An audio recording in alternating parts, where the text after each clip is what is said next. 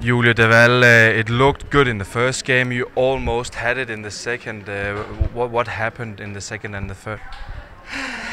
Yeah, um, I think I got a bit nervous. Um, I played very well in the beginning, and I played very well in the first uh, half of the second set.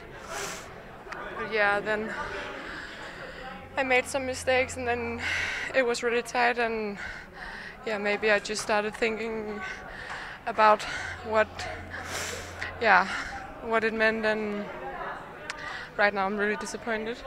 Yeah, wh- why all these uh, emotions, Julia? I've, I've seen you lose and win before, uh, but but never like this. I don't know. I, I just think it's because I was so close and I really thought I had this one. Um, and it's just really disappointing that I couldn't close it today. Yeah, I think that's why I'm I'm so disappointed right now.